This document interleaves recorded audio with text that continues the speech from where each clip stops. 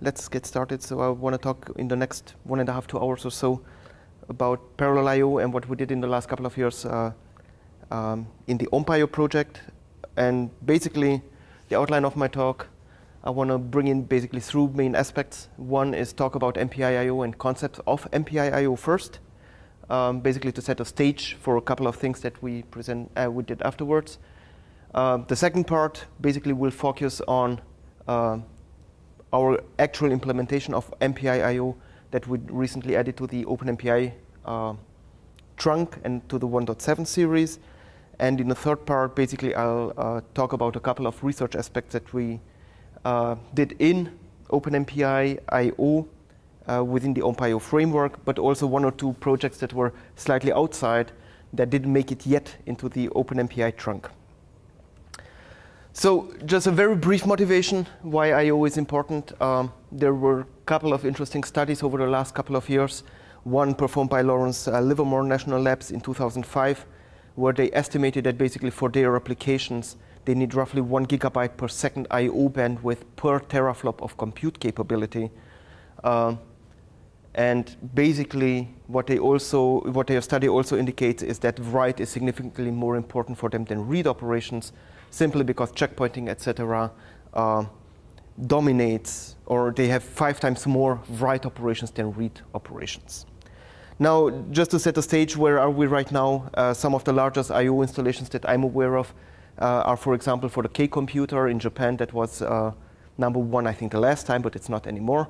Um, they have roughly 11 petaflops of compute capability, and their storage system is fairly large with 864 I/O nodes more or less, or object storage targets in Lustre, but they only achieve a bandwidth of 96 gigabytes per second. So if you use the Lawrence Livermore estimate of one gigabyte per second I/O performance per teraflop compute capability, they are an order of magnitude off. Yeah, and and every other system that I'm aware of has the same problem. Yeah, so the numbers for Jaguar are, are slightly outdated. They are from 2010. I know that their machine are right now significantly larger, but the, the storage system itself is roughly still uh, in the same ability. So bottom line is basically uh, is that the I/O performance has not kept up with the compute performance, in, in my personal opinion, and that makes it a really challenging uh, topic for high performance computing for probably any compute intensive applications uh, at all. Um, so from the applicationer's perspective, looking at parallel applications, the question is what they can actually, what can they actually do? Well, historically, many MPI applications, what they did was what I refer to as sequential I/O, namely that you have one process performing I/O operations and everybody else just communicates with that process uh, to dump data to disk or to read data from disk. Uh, what you get in that case basically is a serialized execution of the I/O operations, which is good from the sequential consistency perspective is, however, fairly bad from the performance perspective, simply because what you see over here, let, let me enable my pointer for a second. What you see over here is basically a Vampir trace shot of what happens on the application perspective. Everything that is red over here is actually processes just waiting in communication operations with the single process that does perform I.O while process zero, the green bar, is super busy doing everything and everybody else just waits. So uh, it leads to basically significant load imbalances. It does not utilize I.O. systems efficiently. Um, it has not been used in the last couple of years as much as it was like in the 90s. Second approach, individual I.O. Every process has its own file that it operates on. Um, that works typically well from the performance perspective. It has, however, at least for parallel I/O, uh, for MPI-style parallel I/O operations, two problems. One, the fact that if you are using tens of thousands of processes nowadays, basically overloads the metadata server. Yeah, I mean, um, metadata servers of parallel file systems do not really like to have tens of thousands of I/O of, of open and close operations going on at the same time. And I know, for example, at Oak Ridge, that was one of the main problems that they had with their main storage server on how to throttle processes actually opening and closing files at a given point in time.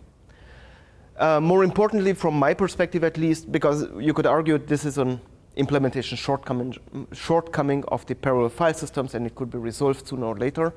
More importantly, however, in my point of view, is um, if you have pros each process reading or producing an input file per uh, per per process, unless you are continuing with the same number of processes, very often you have the problem of, all right, I have now 10,000 output files, I need to somehow merge them to a single output file and split them up again for whatever the next simulation requires on the number of processes. So you are, to a certain extent, not solving the I.O. problem, you are postponing the I.O. problem. You are taking it offline from the view of that particular application, but you are not actually uh, resolving the issue.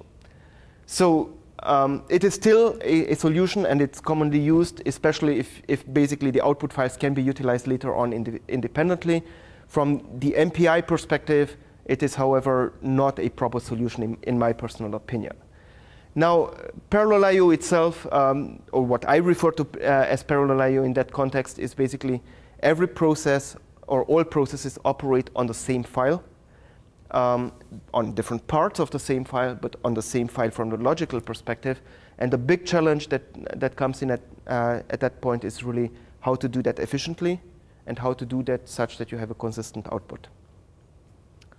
And so to set the stage, this is really what MPI-IO tackles. You have n processes trying to access the same file, uh, probably different parts of the same file, or in the most uh, generic sense uh, different parts of the same file, but how can you achieve that now in a performant manner? And this is really what MPI I.O. tackles. Um, so I.O. has been introduced in version 2 of MPI. Um, it is now also part of version 3, although the modifications, I think, there are, actually I'm not even aware of a modification of, of uh, MPI I.O. in version 3 compared to version 2. But just to highlight a couple of things, uh, what really make MPI I.O. different compared to, uh, let's say, POSIX I.O. or most other I.O. APIs that I'm aware of are things like the notion of group I.O. operations, or what they refer to as collective I.O. operations. Uh, I'll discuss them in the I, I, discuss actually all of these points in more details in the next couple of minutes. Uh, the notion of a file view, which basically allows you to register an access plan to the file in advance. So basically, you are telling the system what you intend to do with that file. Uh, the notion of hints, basically that you can indicate to the I/O library what your plan, what your plans are in terms of not which part of the uh, file you are accessing, but from the perspective of, uh, of are you planning to access the file like in its contiguity? Are you having random access, etc.? So you can give a couple of hints to the I/O library on how you intend to utilize the file. Uh, very important probably from the performance perspective also is the notion of the relaxed consistency semantics that MPI introduces.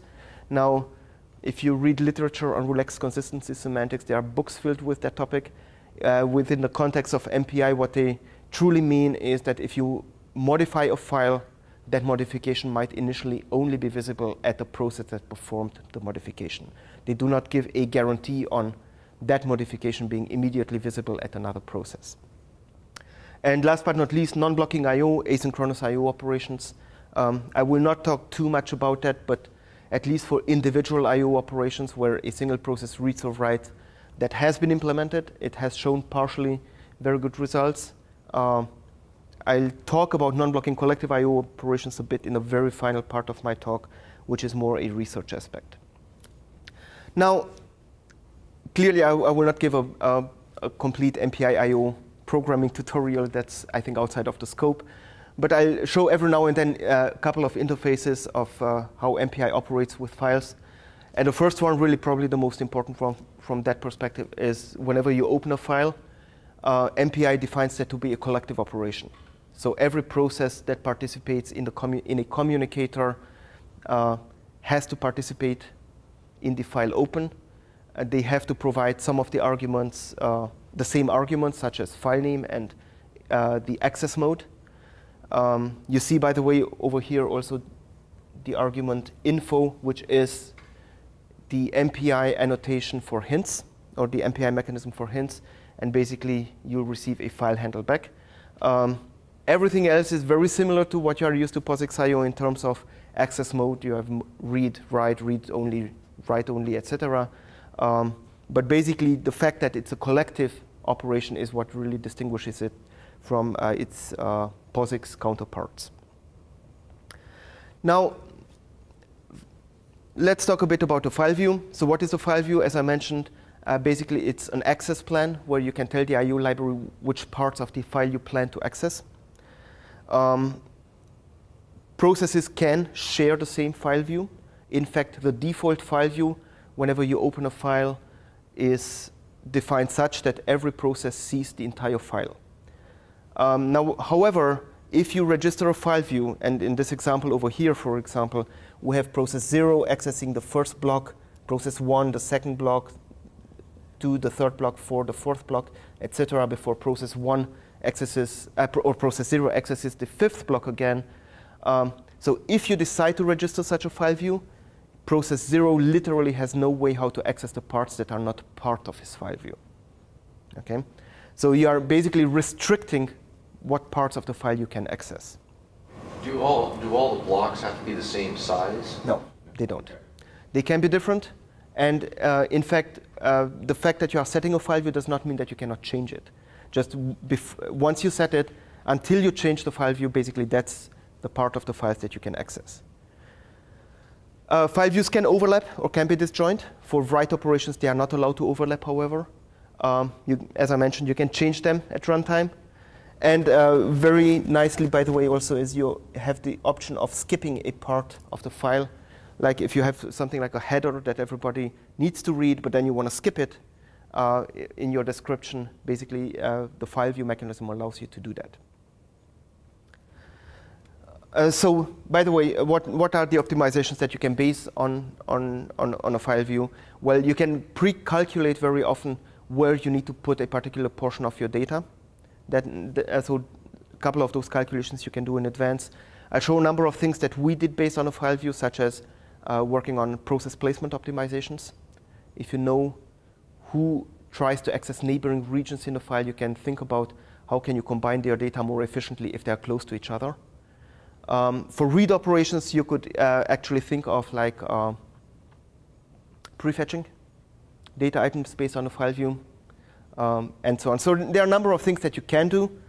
In my personal opinion, uh, implementers have not used that feature to the fullest, fullest extent yet. Okay. Now, just to dive a little deeper also into the details of the file view notion. So basically, the way MPI-IO defines a file view is that you that is a, it's a sequence of elementary types and the name is misleading. The elementary type does not have to be an elementary basic MPI data type. It can be a derived data type. It can be any complex data structure. But basically, what you need to do is you need to, your file view need to consist of a series of these elementary types.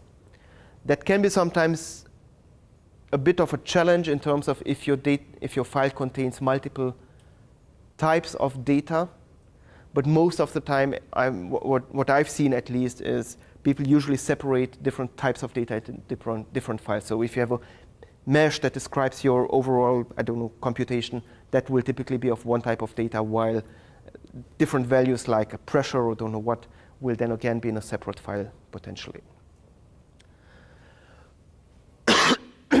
So as I mentioned, if you open a file, uh, you have a default file view which means you start to read and to write right at, at, the beginning of the file, and the elementary type is set to be an MPI byte.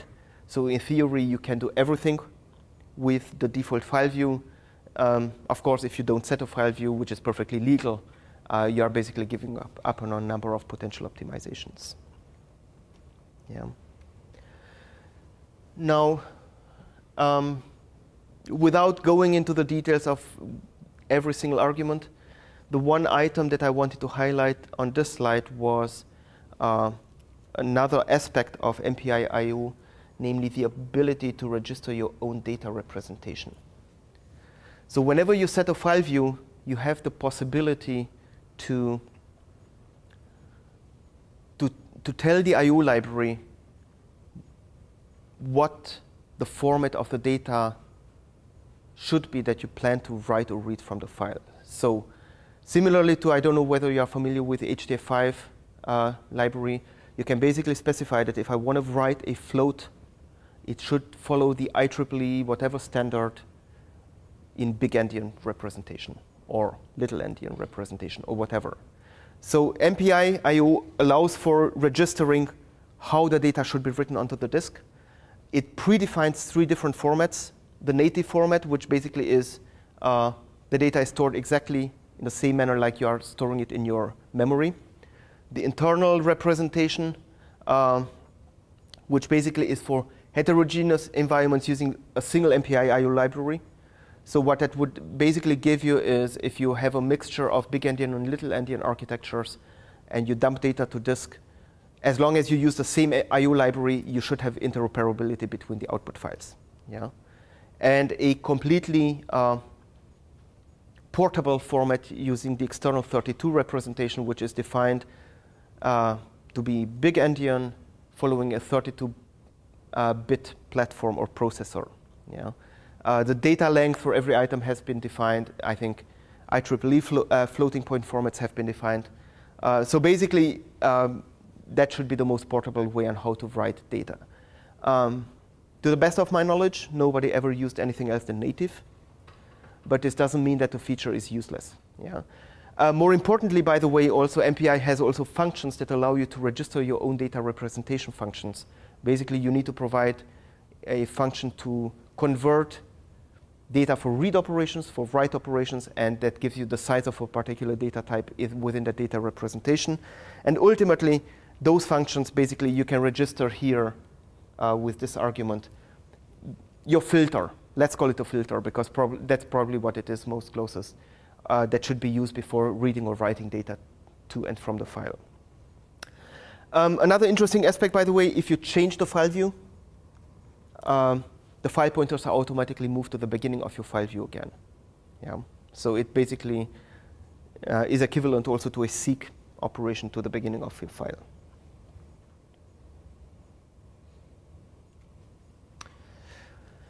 All right, now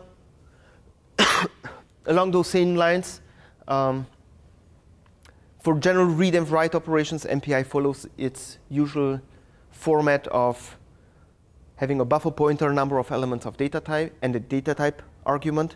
And what this really gives you is if you know that you need to write n integers, you can perform the data conversion before dumping the data onto disk. If you would just have a byte stream, you would basically not have the required information and you, you could not do that. So basically these arguments give you the power to utilize the data representation functions than uh, shown previously.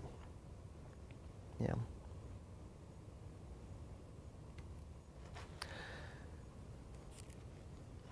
All right. Um, this is just a very brief overview of the rich semantics of MPI.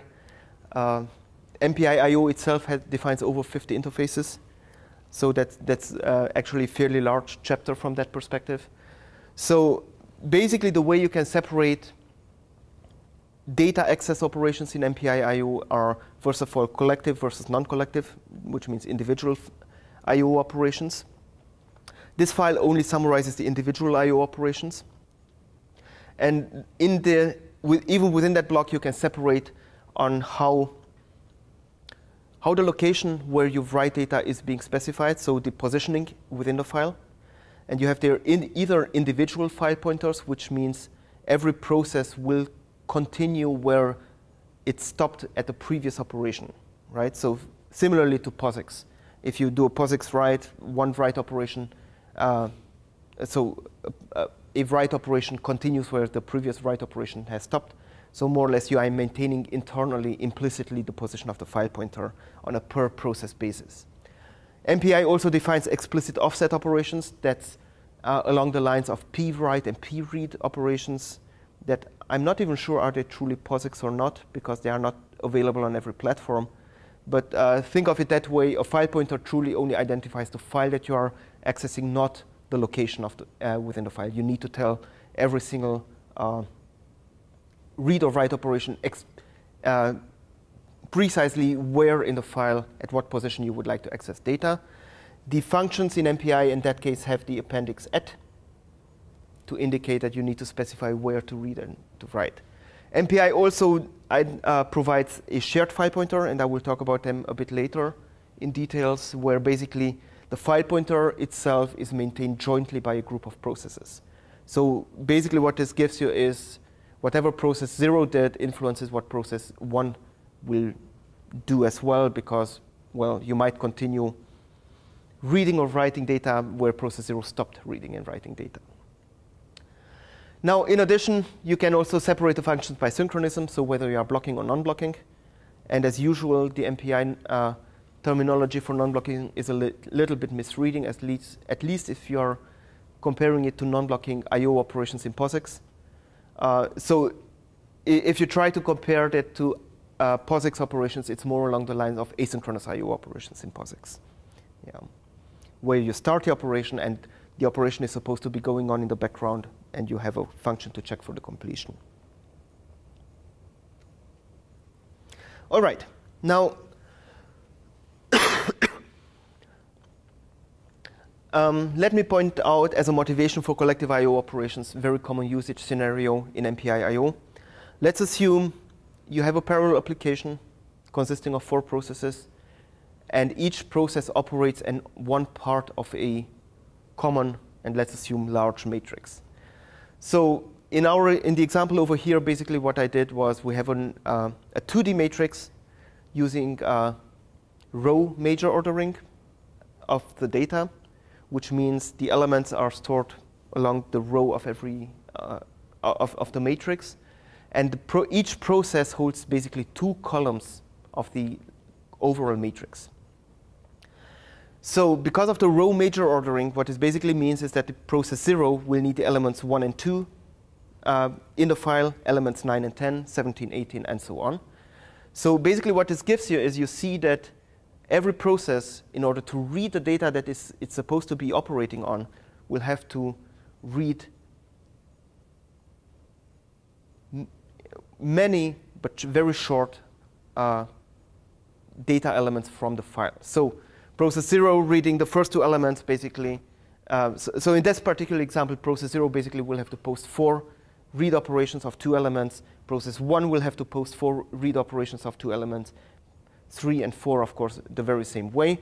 And this is problematic. For I.O., that's, that's, that's a major problem because, first of all, um, moving the, the disk header in a storage system is one of the most costly operations that you can perform.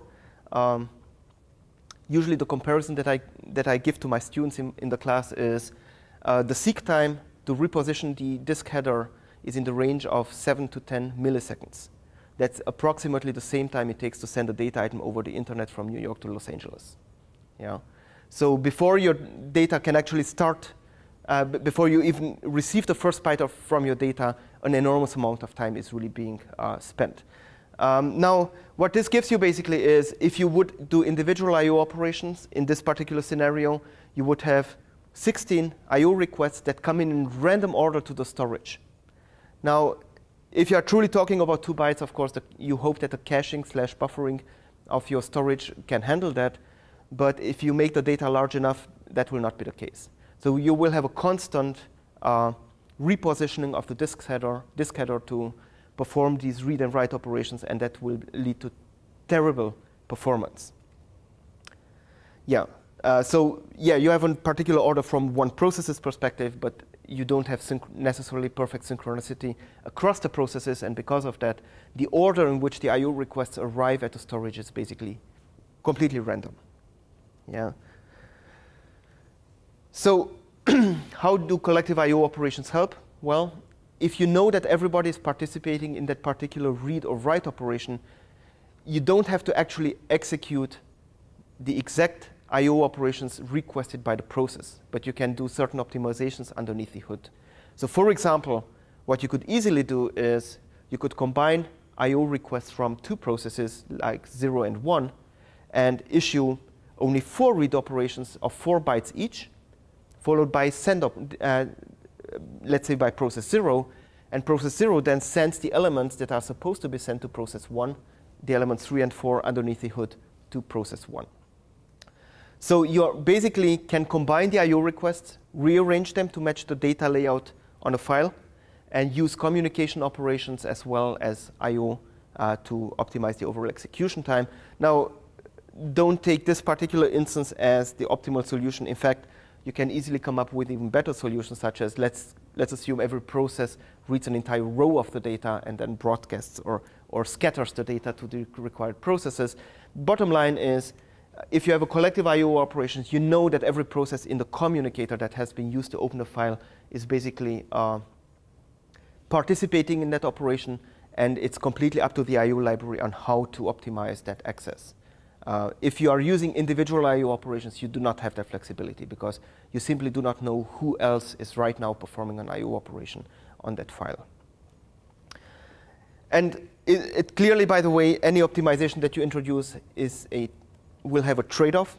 You introduce additional communication operations, and basically what you hope is that the benefit of the uh, optimized I/O access that you have because of that outweighs the additional costs of the communication operations. That's basically the trade-off that you are having in collective I/O operations. All right, so collective I/O, um, the algorithm that is mostly used right now uh, is based on uh, on the two-phase I/O algorithm introduced earlier this century. um, basically, what it does is it reorganizes data across uh, processes to match the data layout on a file. Uh, so, so, fundamentally, once again, the, the, problem is that your data distribution might not match the in the data distribution of your parallel application might not match the data layout on file. And with the two-phase I/O algorithm, you basically try to rearrange data underneath the hood such that you do have do match the data layout on the file. Um, the advantage is, or so basically, you are combining I/O operations and MPI level communication. Um, so historically, MPI level communication was much faster than uh, communication over the I/O network. That has also changed a bit over the last couple of years. You see more and more like people using also InfiniBand for the I/O network.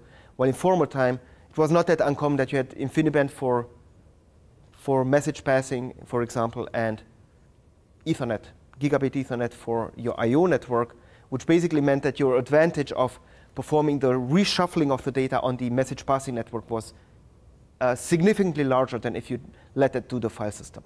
Yeah. Um, there's still an advantage to that, but I think the, the, differences have leveled out a little bit over the last couple of years. Um, two other interesting aspects of collective I/O algorithms. One is that typically only a subset of the participating processes in the collective I/O operations actually touch the file. Those processes are referred to the aggregators, and once again, it's one of the advantages of that higher level abstraction that you do not need to specify in advance how many processes will actually touch the file. Um, if you have an MPI application with tens of thousands of processes, you typically will not want all 10,000 of them uh, operate on a file system. File systems will not like that. Um, second optimization that you can do underneath the hood, um, since you are basically gathering data from multiple processes on these aggregators, you will need to allo allocate temporary buffers on those aggregator processes, and you typically don't, don't want to have to allocate tens of gigabytes of additional temporary memory on those aggregator processes. So typically, very large read and write operations are basically split into multiple cycles. And this allows A to limit the, uh, the buffer sizes, the temporary buffer sizes on the aggregator processes, and B, it allows to overlap the data shuffling across the processes and the I/O operations themselves. Yeah. All right, um, shared file pointer operations, uh, very briefly, um, is not a very commonly used feature in MPI for various reasons, uh, although I think it's a powerful mechanism. Uh, basically, a shared file pointer is a file pointer where the position of the file pointer is jointly maintained by a group of processes. So um, I'll have an example in, in, on the next slide. Um, uh, fundamentally, what a shared file pointer operation gives you, however, is you might not necessarily have deterministic behavior in your application because the order on how operations happen across the processes matters. Um, shared file pointers are defined such that they must not interfere with individual file pointers. I am not aware of an application that uses both shared file pointers and individual file pointers at the same time. But if you would do that, basically they must not interfere with each other. Underneath the hood, what that basically means is you have to open the file twice.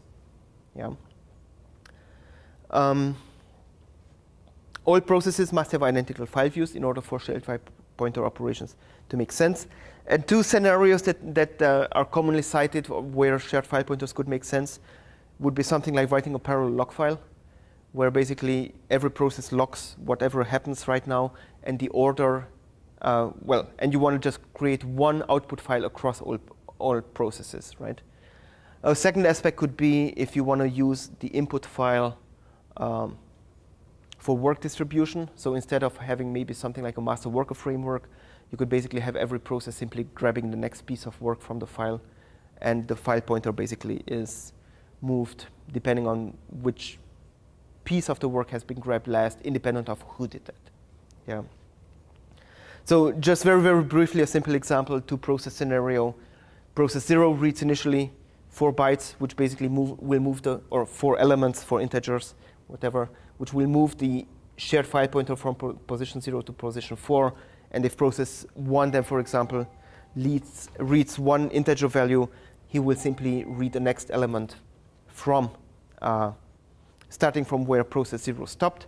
And if you have now from, from the logical perspective, uh, a file shared read, file read shared operation from two processes at the same time, in reality, I mean, what it comes down to is that the access to the shared file pointer has to be serialized, and whoever grabs the shared file pointer first will read the first elements, uh, whoever, and, and so on. So ultimately, this just highlights the non-deterministic nature of, of, of the shared file pointers.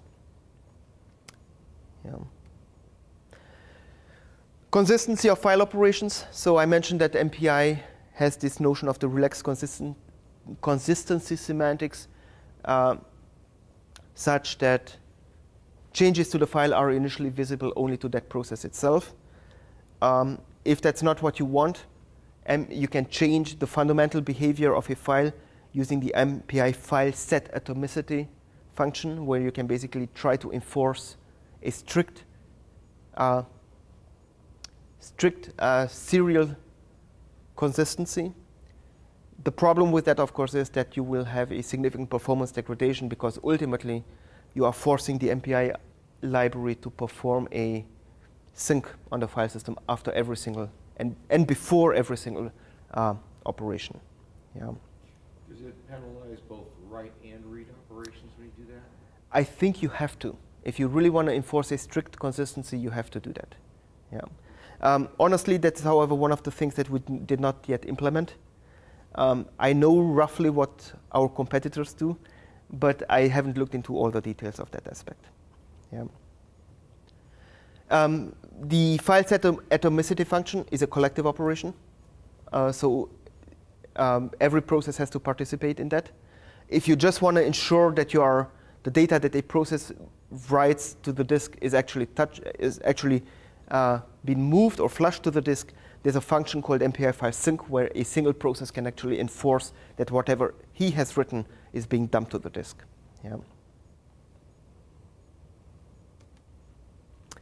So I mentioned that MPI also supports the notion of hints.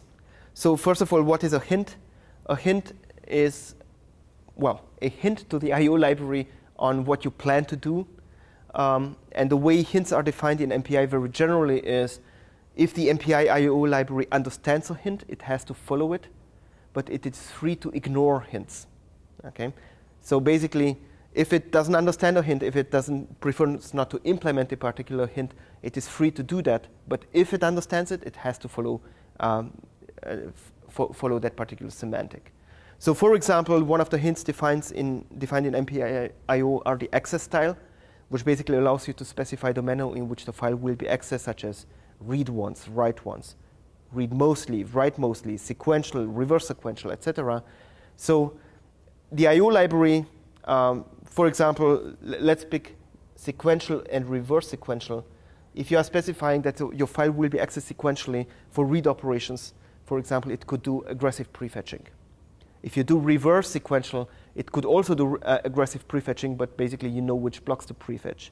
Um, that's basically what it tells you. If, if you are telling the I.O. library that you will have a random access, you could turn off prefetching because it basically doesn't help. Yeah. So that's the, uh, basically the level of uh, support that hints would give you. Um, there are a number of other aspects that allow you to optimize or to give additional information on the file system, such as striping factor, striping unit of the file system. I would claim that most of the time the I.O. library should be able to retrieve that information by themselves. Basically, if you want to force the application to not use the default settings of the file system, that would be, however, a mechanism that you could use. So you say, I know that the storage here has, I don't know, 64 object storage targets in Lustre. I prefer to stripe my file only uh, using 16 of them. You could basically uh, tell the I.O. library that you, that's what you would like to do. Yeah? Or if you would like to restrict, uh, uh restrict which I.O. nodes you would like to use, etc. Okay.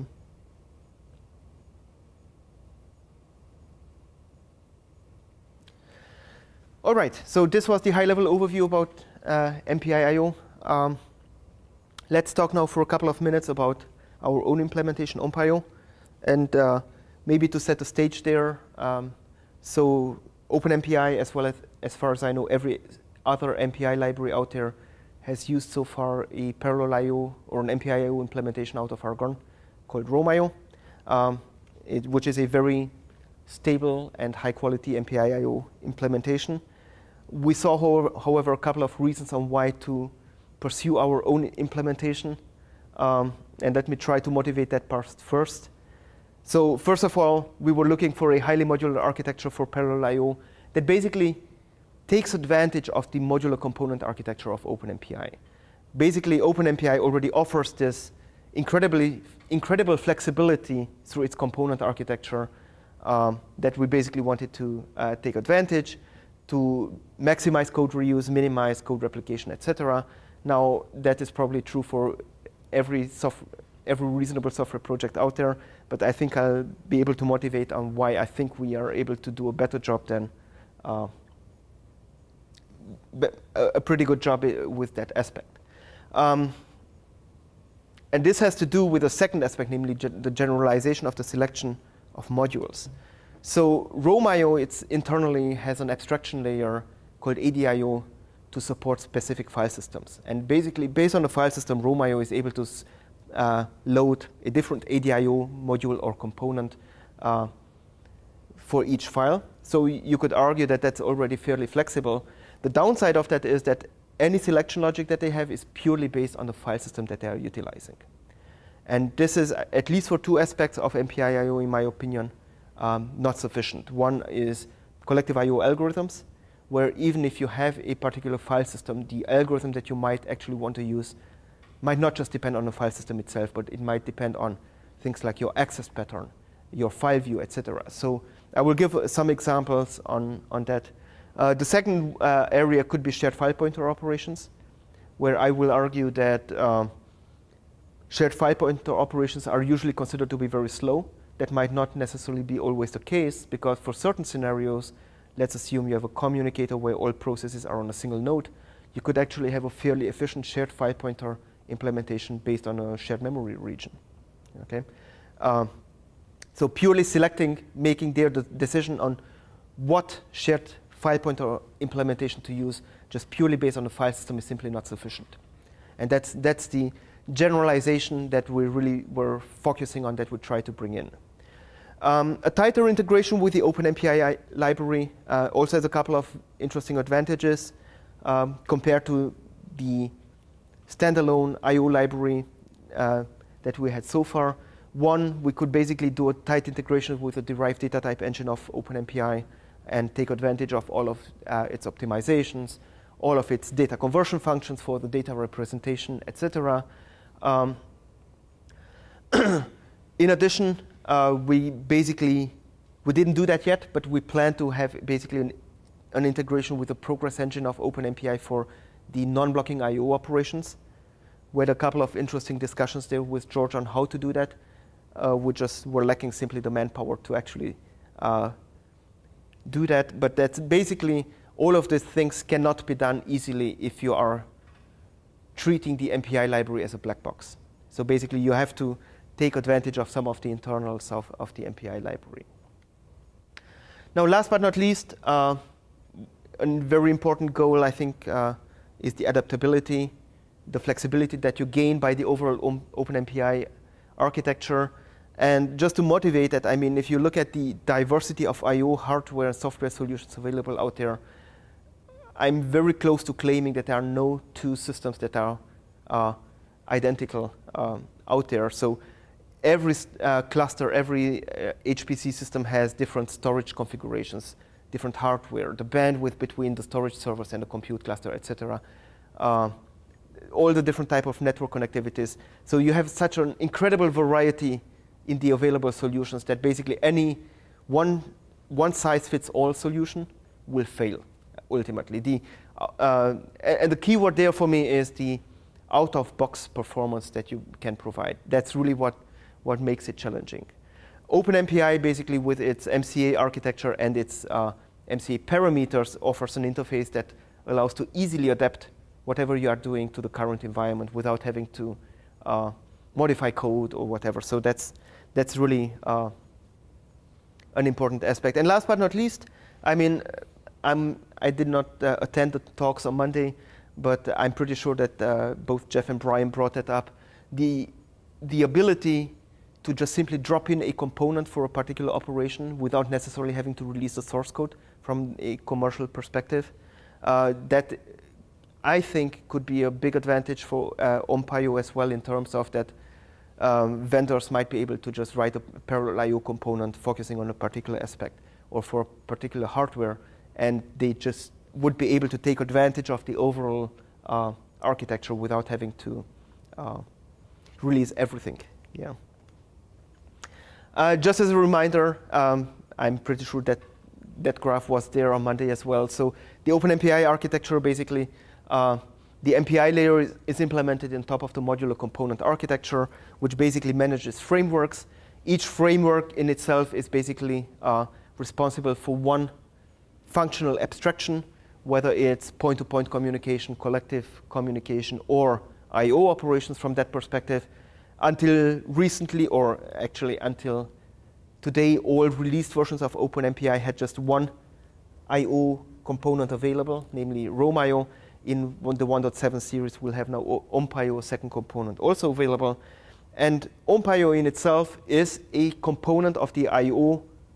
MCA framework, but uh, it's not everything is implemented in OMPIO. In fact, OMPIO in itself, upon selection, will trigger the selection logic of a number of additional frameworks that we introduced. One is basically uh, for individual read and write operations, the FBTL framework, the file byte transfer layer framework. Um, we have an abstraction for uh, collective I.O. operations, the FCOLL framework, for file system level operations, the FS framework, and for shared file pointer operations, the shared FP framework. Now, is this sufficient? Um, we had actually originally an additional uh, framework designed, the fcache framework, for caching information about the file system. We removed that right now um, because we simply did not see that in the foreseeable future we'll have manpower to do anything in that domain. And the one other framework that we were seriously thinking about, but for very similar reasons we didn't do that yet, is a data caching framework. Yeah, where basically you could plug in different data caching strategies to be utilized by the I.O. library, uh, depending on, on your usage scenario, on your file system, etc. So I'll, I'll, talk about them in a bit in more details. OMPIO is the main I.O. component, basically, that we provide, is really, uh, from the logical perspective, the main uh, yeah, the, the, the driving I.O. Uh, component it's basically the component that understands MPI semantics and breaks it down into lower level read and write operations. Um, so from that perspective, it basically provides our implementation of the MPI file handle. It deals with all the file view related operations and once we have the time, it will also be the place where the request structure is actually being uh, implemented.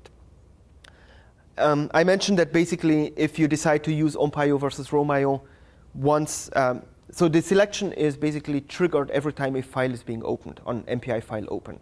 On MPI file open, basically, uh, the I.O. framework will uh, ask both ROMIO and OMPIO whether they want to run. If OMPIO is selected, which right now only happens if you explicitly tell the system you want to use OMPIO, um, it will then trigger the selection logic of the fcoll, fs, fbtl, and shared fp frameworks. So otherwise, the fcoll, fs, fbtl, and shared fp framework will not be touched at all. So And that's on a, a per file basis? that's on a per file basis, yes. I, I would have to look it up. I am pretty sure that uh, the fcoll, fs, fbtl, and shared fp frameworks they are opened in MPI init, similarly to all other frameworks, but basically uh, nothing happens with them otherwise. Yeah.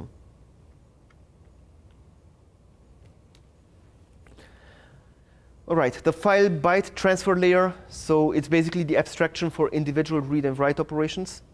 Um, and what, they basi what it basically offers is um, what we call the p-write v interfaces. So there's no such POSIX IO function, but basically we try to combine what p-write and what write v offers, namely having the ability to explicitly say where data is being, uh, where data needs to be written or read, as well as the ability to provide an entire list of arguments at one point. Ultimately, um, the more information you can provide in a single read or write operation, typically the better the performance. And that's why we chose that abstraction. Uh, we have interfaces for both blocking and non-blocking operations. The non-blockings, as I mentioned, are currently not implemented. For the non-blocking operations, also we'll foresee a progress function that will be registered with the progress engine. Yeah. The arguments of these functions, I mean, except for the progress function, basically take a buffer pointer length and position in file uh, description. Um, originally, our design um, basically anticipated the ability to have more than one FBTL instance per file and per process open. So what we th thought about is to have the ability to, to do direct I/O to individual storage servers.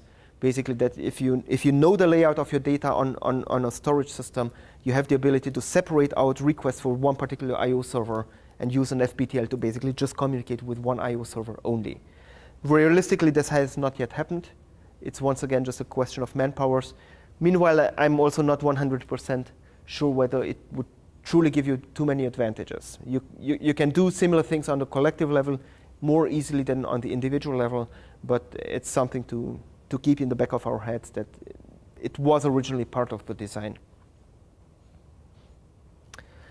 FCOLL framework, uh, abstractions for collective I/O operations, basically for all versions of collective read and write operations. Um, the in, the most interesting aspect, in my opinion, on the collective I/O framework is that it's the only framework where the selection logic is not triggered upon opening the file, but upon setting the file view. So simply, if you change your file view, the algorithm that you use for collective I/O operation uh, might change on, on what would, could be uh, most beneficial. Implicitly, of course, because you have uh, the default file view set on MPI file open, we do uh, trigger also the collection, uh, the selection logic of collective I/O operations on file open as well, but that's just uh, incidental from that perspective.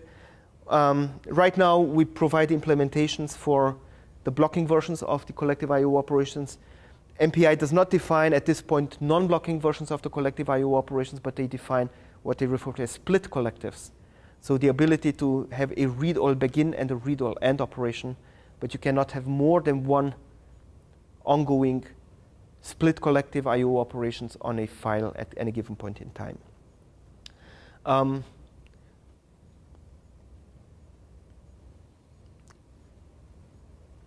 we I'm, I'm not sure how to formulate it. It would be fairly easy for us to provide the implementation for those functions, but we did not see right now the necessity, necessity to do that.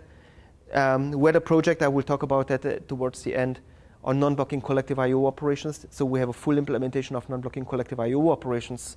So one could argue that split collectives should be easy to map. It turns out it's not that trivial because you don't have a request handle in these functions. Yeah. Because of that, however, I, uh, I think it is generally understood that uh, the benefits of these split collectives are fairly, fairly limited. Yeah. Now, and just to point out, uh, because I truly think that this is one of the things that sets us apart from our competitors, the selection logic of the FCOLL framework.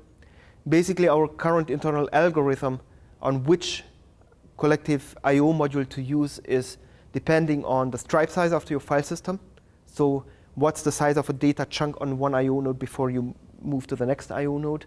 Uh, the average chunk size in your file view, the minimum data uh, size to saturate your read and write bandwidth. That's a data item that is not that trivial to determine, but a system administrator could easily do that once and then set that for the, for the I/O uh, or for that given cluster, as well as the size of a gap in a file view. And basically, based on a number of tests that we executed, we came up uh, with a table uh, where you take all of these characteristics into account. Um, these ones are basically fixed for the file system. These ones are application specific. Okay, uh, these two are application specific, and based on that, we choose different algorithms to be used underneath the hood for different operations. And this is clearly something that cannot be done if your selection logic is purely based on just a file system that you are utilizing. Okay. The FS framework um, basically handles all file system related operations um, we were arguing for a long time whether the FS operations should be part of the FBTL framework or not. Uh, the main reason that we did not do that is because the MPI semantics for open, close, delete, sync, etc. are collective. And we didn't want to have collective operations in the FBTL framework. Yeah. Um, what this gives you, by the way, I mean, there's at least one file system, the PVFS2 file system, where you could do something like a single process executes an actual file open, and the file handle is then broadcasted to all other processes. Basically, the file handle is not a per process, but it's a portable instance. Yeah, I'm not aware of anybody else doing that, but uh, a collective open operation would allow for those type of optimizations. Yeah. I notice you don't have seek up there. Is that because you don't need it because your reads are always relative to, you just have to specify a location? Yes. But that's a very good question. We have somewhere seek. The question is just where. Um, so, but ultimately, you know what? I, I think you are correct. I think we do not have seek in here because the seek operation on the MPI level, we are actually implementing it in the OMPIO module. It never touches an FBTL. Okay. Yeah.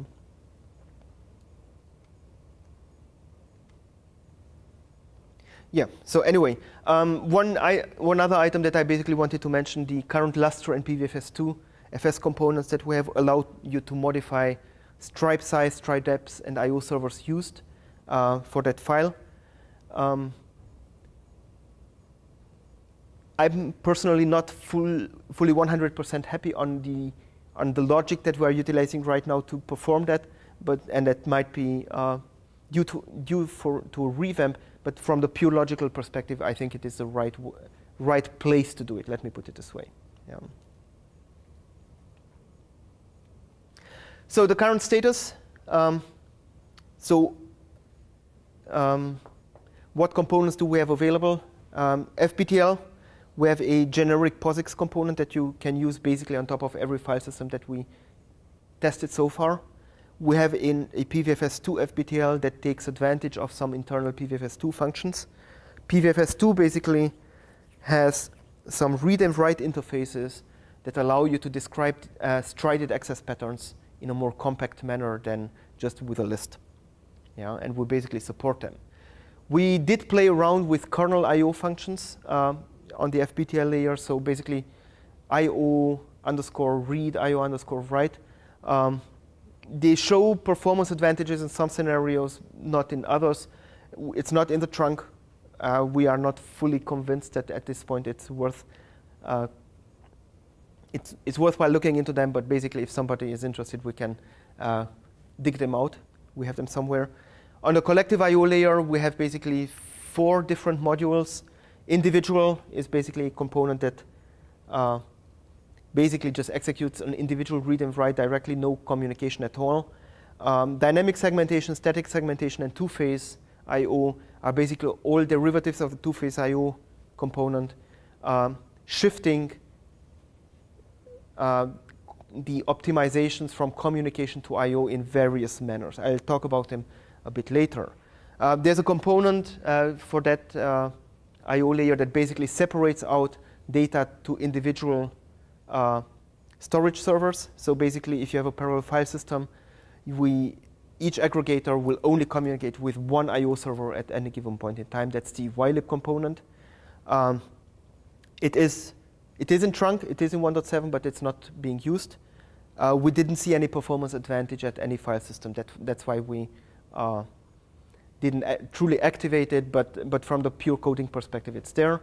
On a file system level, we have support for regular Unix file systems, PVFS2 and Lustre, especially for Lustre, uh, PVFS2 and Lustre both basically, the main difference really is just that you have the ability to modify number of I.O. servers, uh, stripe size, stripe depth, etc in the uh, for that particular file. Yeah. The shared file pointer framework right now is just has a no op component in it, but we have developed all the required uh, components in a standalone I/O library originally, roughly two years back, and one of our students is currently working on uh, converting that to proper OMP components. He is mostly done. Um, basically, what we'll have, and, and I mentioned that, um, actually, where do I mention that? I don't know. uh, we have come up with various algorithms on, on how to maintain the shared file pointer. Um, ROMIO implements a shared file pointer management uh, by introducing a separate file that contains the position of the shared file pointer, and you need file locking. Basically, you need to lock that additional file that you have that contains the shared file pointer in order to modify it. So what it requires is basically that your file system need to support file locking, which not everybody does. Yeah, so basically in ROMIO, if your file system does not support file locking, uh, it will abort a shared file pointer operation saying it is not supported. We basically um, experimented with uh, maintaining the shared file pointer in, in an, in an additional process. Originally, we spawned an additional process, but the long-term goal was to discuss whether that could be done within MPI run. That's something to, to discuss maybe. Um, we have basically a version where if all processes are on one single node, the shared file pointer can be managed in a shared memory segment. And we have one version which puts some restrictions on the usage scenarios, uh, but um, if the user basically guarantees us that the file is only accessed in a write-only mode, and he is okay with slight inconsistencies in the order of the data.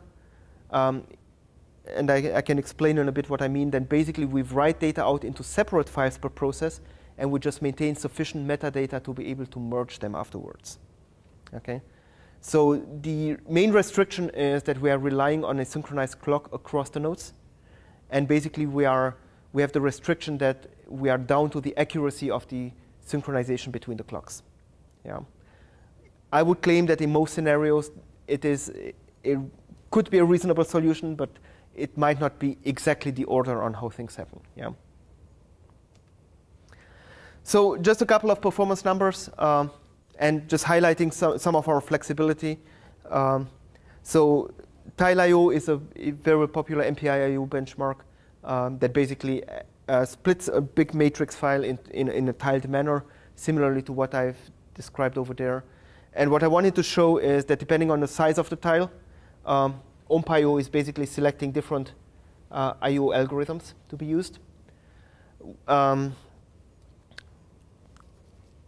and different number of aggregators, and I'm not showing that here for various reasons. But ultimately, those two things combined out of the box without the user having to do anything, you are basically able to improve the performance that you actually observe in all scenarios compared to to uh, ROMIO.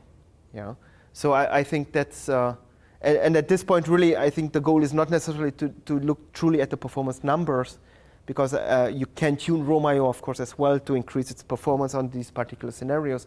The, the, the, the thing really is that you have the flexibility for these things to happen underneath the hood without the user having to do anything. Yeah. Different algorithms, different number of aggregators to be used.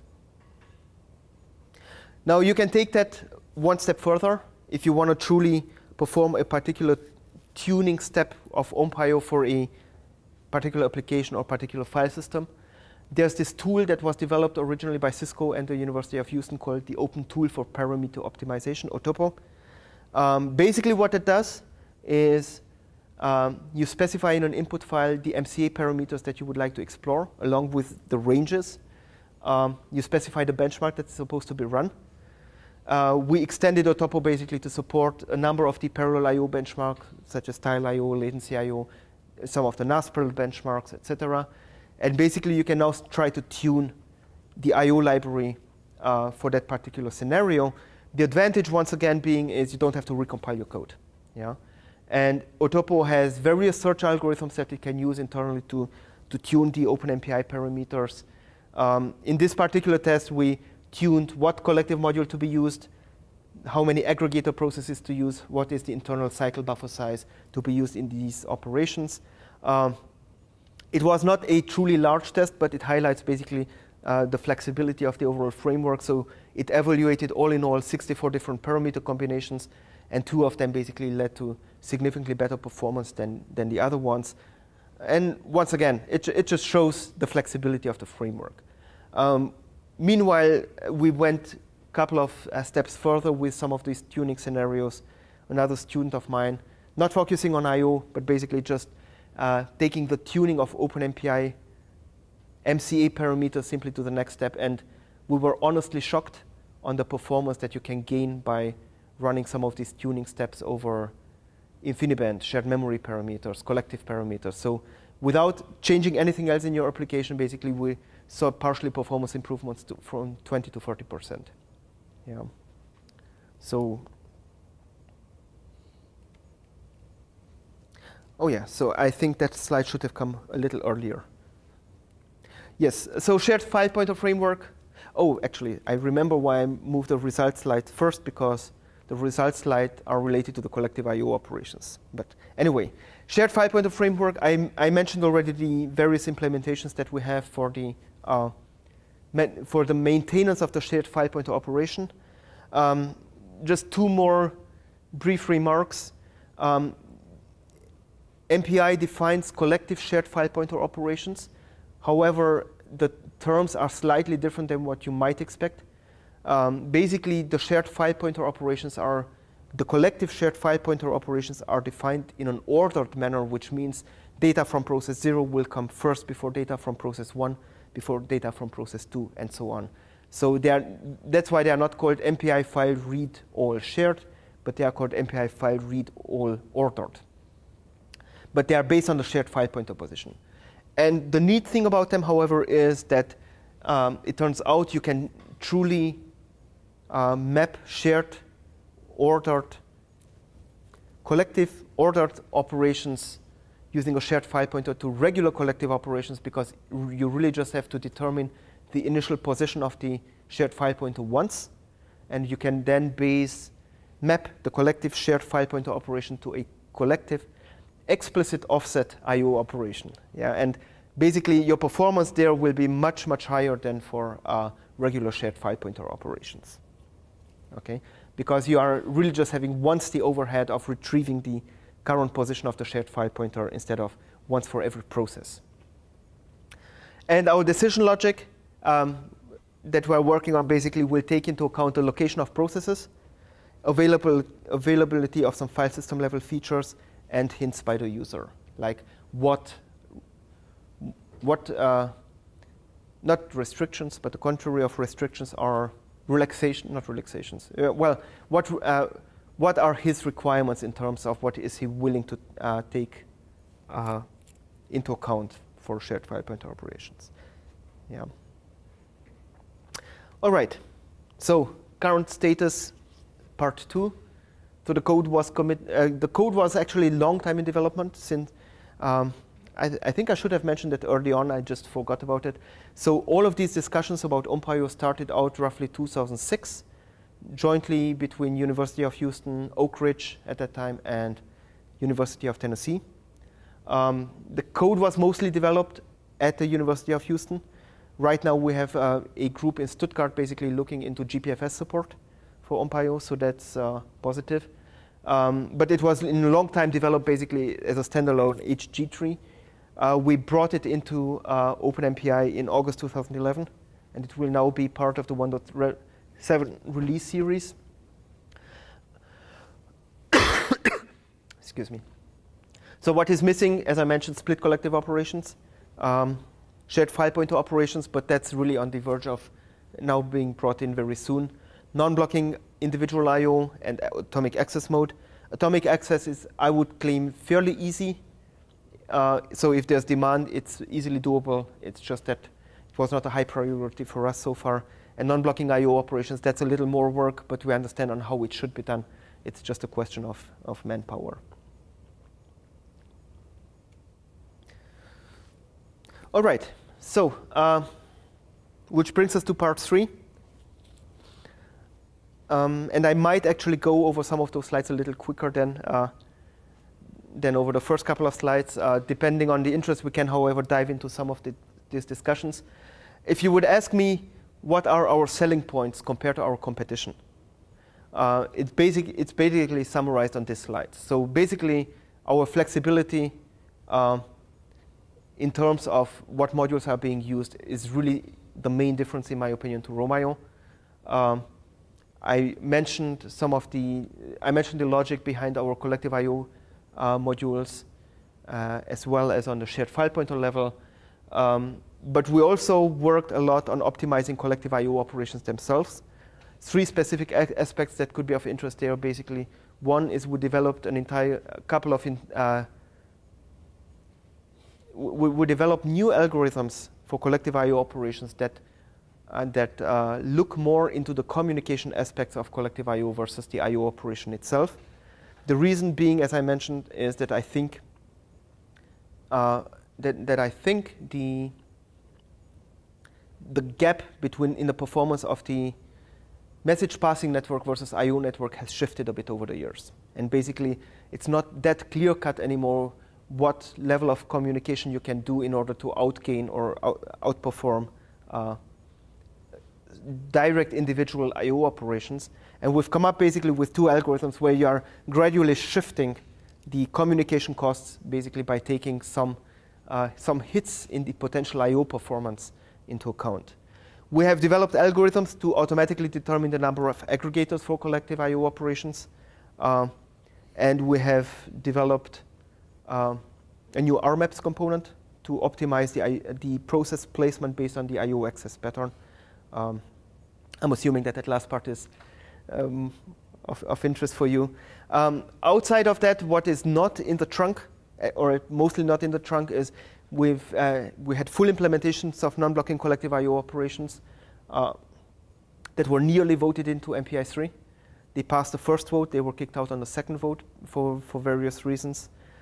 Um, and we have developed a, another library um, that deals with multi-threaded I/O operations. I will just very, very briefly uh, touch on that aspect on, on the last couple of slides. Let me talk just very briefly now first about the uh, communication optimizations that we perform for collective I/O operations. So, um, first of all, let, us take a simple scenario. So this is your file layout. The numbers in the files are basically the blocks in the file, uh, of course in a sequential manner. Uh, the color coding basically indicates, based on the data distribution of that application, which block is supposed to be on which process. So basically the blue blocks are on process 0, green box, uh, blocks on process 1, etc. Now, if you assume you have a collective write operation, basically um, with two aggregators, what this basically means is that process 0 will have to gather the blocks as listed over here in that order. Process 2, assuming process 2 is the second aggregator process, will have to gather those blocks. What this basically means is every process communicates with every aggregator process in a most generic sense. And these all-to-all style operations clearly do not scale very well to large number of processes. What we basically did was we came up with algorithms where you are restricting the processes communicating with a particular aggregator. The goal being is you still want to reorganize data to match the data layout. But you might not need perfect sequential ordering of the data to achieve good performance. You basi basically, the goal is to create chunks from on an aggregator that are large enough from the file system perspective to be efficient. Yeah.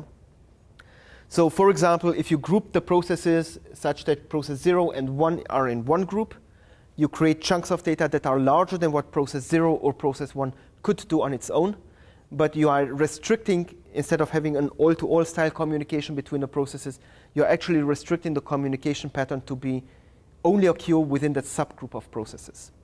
Okay?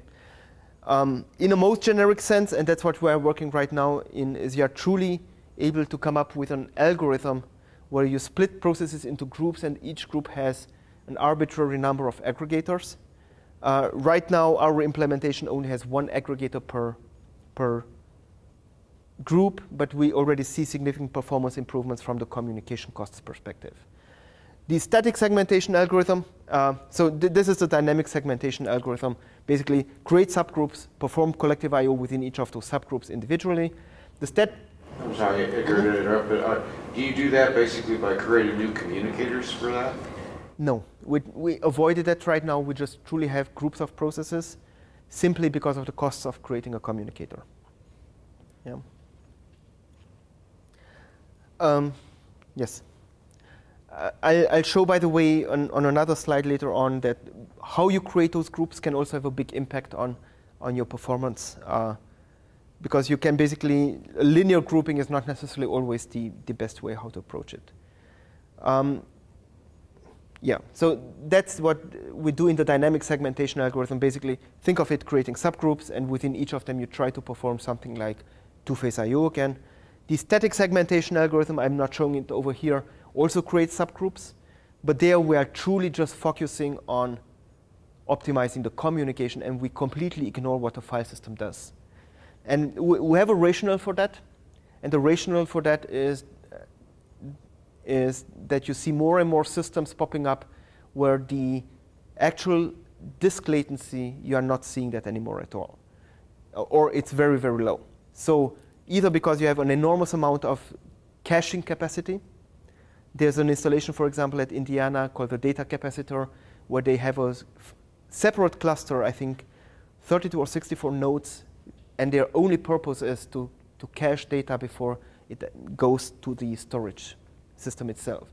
Now, in all reality, if you write 100 gigs of data on that storage system, it will never actually touch the disks from the application's perspective. So the latency that you're actually seeing are close to irrelevant. The only thing that matters is that you are able to avoid every process actually touching the disk at the same time. So the static segmentation algorithm, what it basically does, it restricts the processes that actually touch the file, and you are focusing more on how can I, how can I optimize the data stream to the aggregator, and then from the aggregator to the storage. The second motivation for that could be SSD storage systems, which have a much lower latency. We have one in, in our uh, group a fairly high performing one. Somewhat to our surprise, we did not observe the effect that we wanted to observe there. Um, and that's uh, an interesting question on why not. Yeah, but it probably, it's probably outside of the scope of this talk. Now, automated setting number of, uh, automatically setting the number of aggregator processes. So the first thing that I would like to highlight here is the N is that this is a parameter that has an enormous influence on the performance of your I.O. operations. So what you have here is a tile.io benchmark run on a Lustre file system uh, and varying number of aggregators going from one aggregator to 144 aggregators, which means every process would be its own aggregator. And you see that the performance that you observe is truly uh, dramatically changing depending on how many aggregators you are using. Now, this slide might be misleading in terms of that the more aggregators you have, the better your performance. That's not always the case.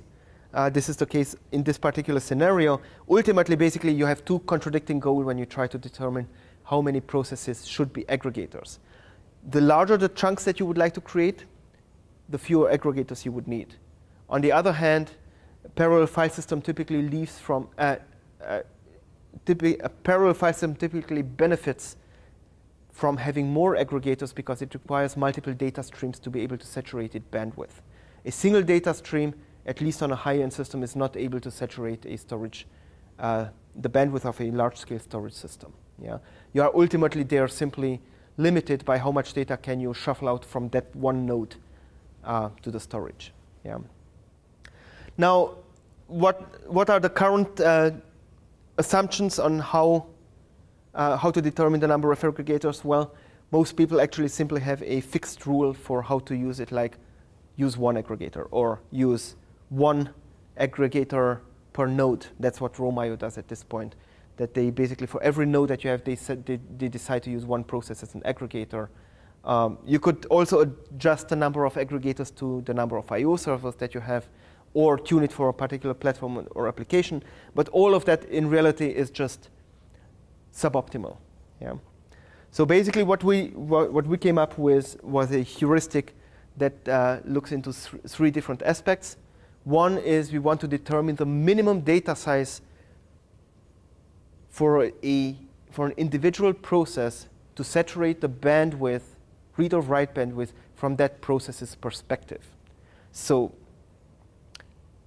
yeah, let me show you in a second. So typically, if you perform a sequ sequential write operation and you increase the message length, you, basically, you typically uh, have a graph something along those lines, that you have an increase in the bandwidth that you observe from that particular process's perspective. And once you saturate something, and the question is, what is the something? Is it a file system? Is it your network connection? Is it your memory subsystem? You will see a flattening out of the bandwidth that you can obtain. So increasing the message size for a single write operation from that process's perspective beyond that point where the saturation occurs is pointless. You will not increase further the performance. So, and that's what we define the smallest message length where you say I'm observing the maximum bandwidth possible for that process is what we define to be the saturation point. Now, we then have determined initially the number of aggregators taking the file view and or the process topology into account. What do I mean by that? Uh, basically, if your application uses something like a 2D data distribution strategy or 3D data distribution strategy, there's a large probability that your data is actually split in the very same manner like on how they logically organize the processes. And what we do is basically either based on the file view or based on the assumption that your Cartesian process topology follows that file view layout, we basically uh, right now um, assign one aggregator to each row of processes, either in the logical file view or in the Cartesian process topology. If you don't have a file view and no Cartesian topology, our initial assumption is every process is an aggregator.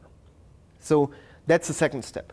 Now, in a third step, however, is, and that's really one of the current shortcomings, in my opinion, of the file view, the fact that you register a file view does not mean that you know how much data is actually being written or read in a single function call, right?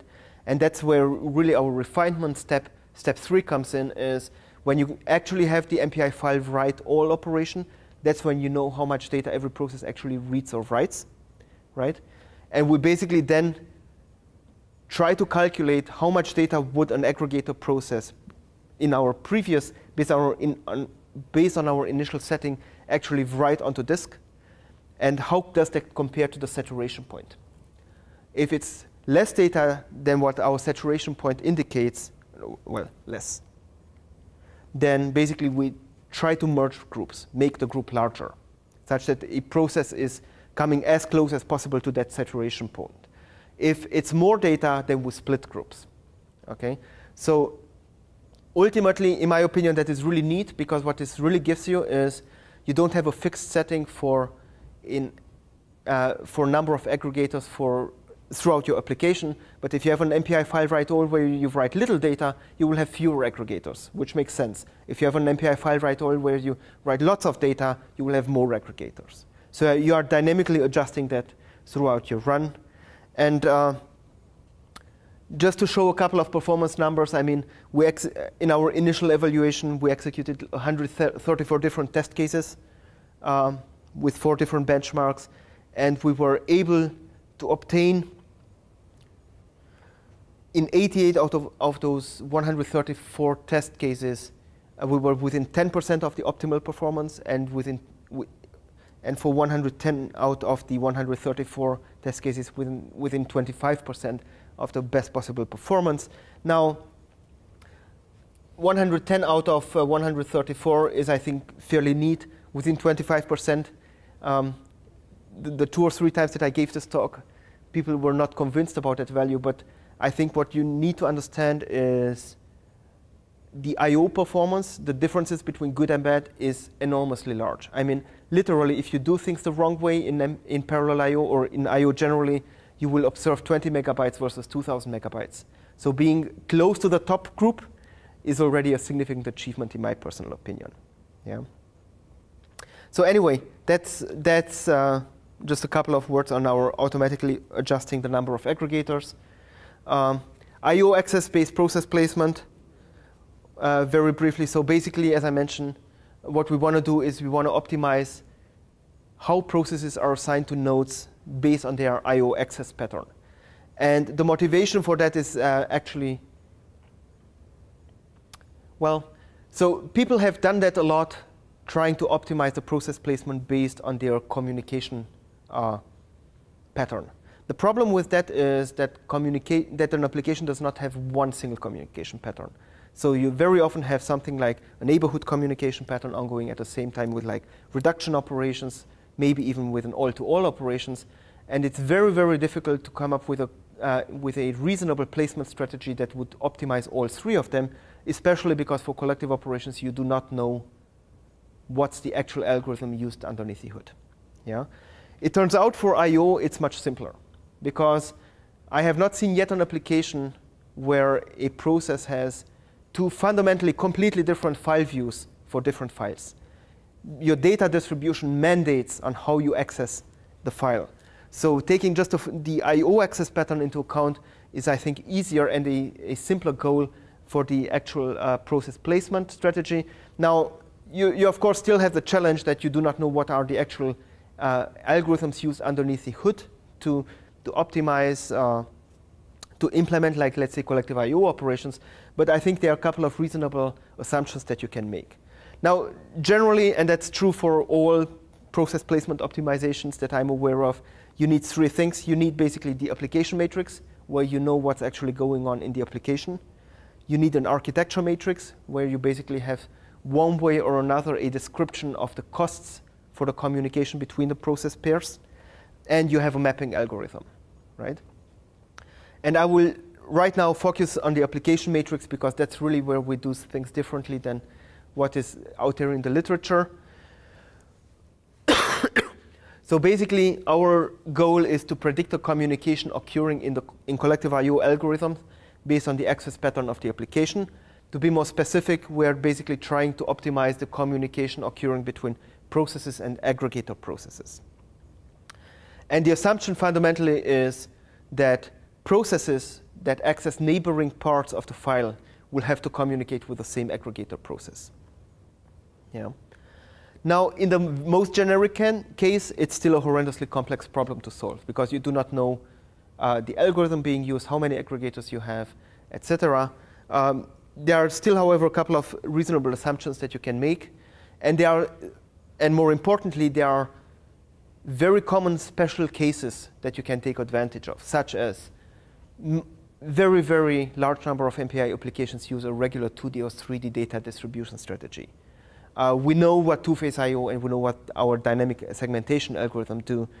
Uh, and it's easy to construct an application matrix based on those assumptions. Now, but let me, uh, we support the most generic case, however, where you would be completely irregular as well with extended OMPIO such that you are able to dump the file view respectively the order on how processes access a file into separate file. And if you run the same applications two or more times, basically you could dump the, the file view on the first execution and reuse that description in subsequent runs. That's an optimization commonly used by compilers. It's not as common in MPI, but basically it's a re-execution strategy on how to optimize that. And just to give a very brief description in the most generic case, basically what we are truly interested in is really not necessarily how much data a process accesses in the file, but the order, such that basically process one accesses data uh, uh, followed by process two, followed by process one again, etc. So you are just recording the neighborhood relationships between the processes and how they access the file, and then you count, uh, you construct the application matrix by basically counting how many boundaries you have between each pair of processes in the file. And between process one and two, if you look at this example, you actually have seven boundaries. So we set the weight of the application matrix simply to be seven. If processes don't have any boundaries in the file access, it, it basically will be zero. Now, for the special cases, 2D or 3D process topology, basically, we know that the vast majority of the neighborhood relationships are within a row of the matrix, and we can basically set the value to an arbitrary non-zero value, something like 100, but you could take k or some, something else as well. Yeah, but basically that matrix, if you know that you have a, a 2D matrix or 4, 3D matrix, whatever, you just have to specify the number of processes and you can dump out such an application matrix very easily. Um, how do you determine the, the architecture matrix? That's also non-trivial, but it has already been solved. I mean, in the end, you basically will have to run something like point-to-point -point benchmarks between pairs of processes and determine either latency or bandwidth or whatever you want and construct the corresponding matrix. Now, the mapping algorithm itself, um, Intel MPI, as far as I know, uses an algorithm based on the MPIPP paper to optimize the process placement, which is basic, basically a randomized search heuristic, where processes are randomly changing their positions, and you try to calculate the gain that is occurring by changing the position of those two processes. If you run the algorithm lo long enough, you basically get close to optimal settings.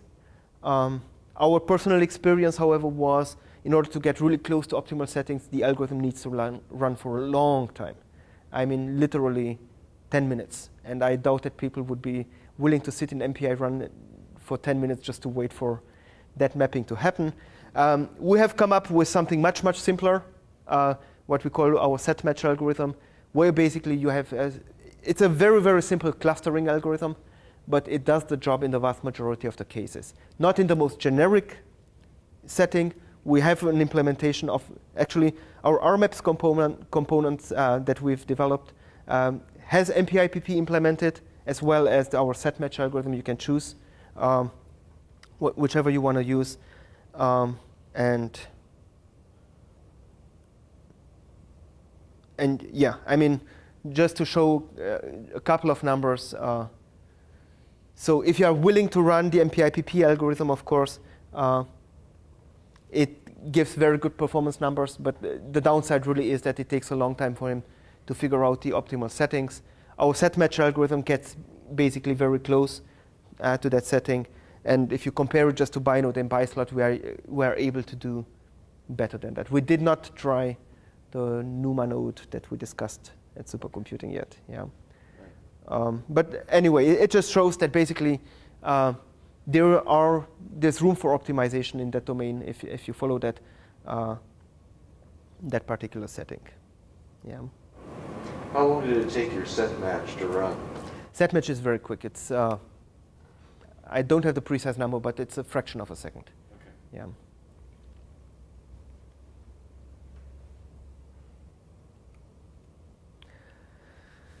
All right. So I'm. I think I'll skip most of the non-blocking collective I/O. Uh, I just want to point out that we did that and we know how to do it. It's just not in the OpenMPI source code. Um, actually, parts of it are there, but parts of it are not, and I can mention why. So fundamentally, MPI so far does not define non-blocking collective I/O operations. Um, the reason originally in MPI 2 was that implementers felt that it is too complex to implement. That was, I think, my understanding is that was also the reason why originally they did not define non-blocking collective operations. Now, with uh, libNBC, um, people proved that it's possible to do it a, with reasonable efforts. Our implementation basically is also based on libNBC, although we did have to make a couple of uh, significant changes to libNBC to make it work. Um, we demonstrated also the benefits. It passed the first vote. It failed the second vote. I think uh, there are people from MPI that uh, MPI forum that can uh, explain more why that failed uh, than me. But bottom line basically is um, a collective I/O operation, similarly to any other collective operations, you can break it down into a sequence of steps that need to be executed. You register a schedule that needs to be executed. Um, the most important part, however, is the changes that we need to do. Um, so, so, the biggest difference between collective I/O and collective operations is, in a collective operation, you typically know the arguments of other processes because MPI collective operations are fairly restrictive. In collective I/O, every process is allowed to provide different amounts of data, and nobody knows what everybody else does. So you basically, because of that, um, if you think about a collective I/O operation, um, I mentioned that it is typically broken down into multiple cycles internally. You do not know at that beginning how many cycles you will have. Okay, um, so because of that, you cannot construct your schedule for libNBC, and because of that, uh, you would have to block and potentially deadlock if you do that uh, in a trivial implementation. So ultimately what we had to do is basically we had to develop a method on how the schedule is actually constructed as part of a schedule. Yeah? Um, and that's really the main difficulty that came in. But, but uh, Vishwanath Venkatesan, my student, did a fantastic job with the help of Thorsten. Uh, so basically we have, initially we create a schedule for an all-gather operation to determine how many, how much data every process tries to write and then we are able to construct a new schedule on the fly in the background uh, to, to register those operations. And uh, that's all I want to say at this point to that. Uh, we had very good application performance results, but uh, yeah, the, the one thing, yeah, so the algorithms themselves, or big parts of, of the algorithms are in the OpenMPI trunk the one thing that we didn't want to bring in is we also had to modify libNBC to support AIO read and AIO write operations as primitives internally. Uh, we didn't want to make that change into in the trunk of libNBC simply because we anticipate that sooner or later we will have non-blocking I, I write and I read operations. In that case, that change is basically unnecessary, and we would make libNBC unnecessarily complex. All right, last but not least, uh, another another project that is right now not in the trunk, uh, and just also two minutes on that because of that. So we also looked a lot into optimizing uh, I/O for multi-threaded applications. So OpenMP or POSIX threads or whatever other um, threaded uh, API you want to use does not have support for multi-threaded uh, parallel I/O operations at this point in time. Um, what we basically did is we wanted to come up with an interface that A would allow you to take advantage of the fact that you have multiple threads, but B, avoid that you have to lock the file handle within each thread to perform the I.O. operations. So that was our reasoning behind that. And basically what we came up was with a set of uh, uh, I.O. functions that you can call, let's say, from a parallel region in OpenMP. Um, because of that, you have underneath the hood multiple threads that you can use for I.O. operations. Um, and we have to define simply rules on the where the data from which thread will be located in a file to avoid basically race conditions. And that's really the main, uh, the, the, main, uh, the main achievement of that multi-threaded I/O library that we did. So you don't have to lock the file handle anymore. You have rules clearly defined on where the data of which thread goes in, in the file. And underneath the hood, it turns out that if you have multiple threads available, there are a number of things that you can do to optimize the I/O performance, uh, whether it's generating multiple streams, whether it's uh, overlapping functional parallelism if you need to do data conversion, for example. Um, for OpenMP specifically, we also introduced the, the ability to write private data into a file which is right now well, without file locking, not possible, etc. So it has a couple of advantages. Um, once again, I'm not look, going into all details, but I just want to point out here the application results with some of our, one of our, the NAS parallel benchmarks uh, with multiple threads. What you see is basically here the execution time on two separate file systems. One is our regular PVFS2 storage, one is our SSD storage. Um, and what you see is the performance benefit of using more threads does not grow infinitely in a multi-threaded environment. But up till roughly four threads, you can see significant performance improvements in the I.O. times uh, for this benchmark simply by taking advantage of multiple I.O. streams, etc., underneath the hood. Yeah.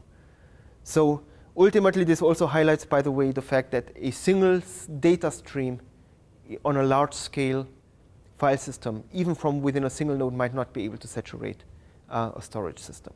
Yeah, so you might have to create more than one aggregator process or more than one data stream from, from one node. Edgar, do you have, uh, have you looked at a comparison between one process with four threads versus four processes that are using an aggregator? Is there a difference? one process with four threads versus four processes with one aggregator. One aggregator. In other words, is, it, is, the, is the issue really that you've saturated the, the, bandwidth um, of the file system, or is it that the, the, the, the, process itself just simply can't absorb it fast enough? Um, so, so that particular test we have not done, but what we have seen is that from a single node, whether it's one stream or one process, sorry, whether it's multiple threads or multiple processes, you do see similar performance advantages by having more than one stream. Now, whether we hit basically a limitation earlier on if you just have one process, that's a very good question. I don't think that we looked into that. Yeah. All right, so that's basically what I had. Um, I hope there are some, some useful aspects uh, in this talk. And um, if there are any questions, yeah, let me basically highlight that, of course, it was not just me doing the work. Um, right now, the main developers are Vishwanath Venkatesan. He does most of the work currently on OMPIO. Kshitij Mehta works on the multi-threaded I.O. Carlos does, does the, the uh, shared file pointer stuff. And of course, originally Mohammed was the main OMPIO developer. He's now at HDF5. Ketan works also on parallel I.O. for an oil company. Uh, meanwhile, and Sunit works at Dell. Uh, Rainer was actually the guy at Oak Ridge that uh, helped to supervise and set up all the OMPIO stuff when, while Mohammed was there for a summer internship. So, yeah. Anyway, thank you very much.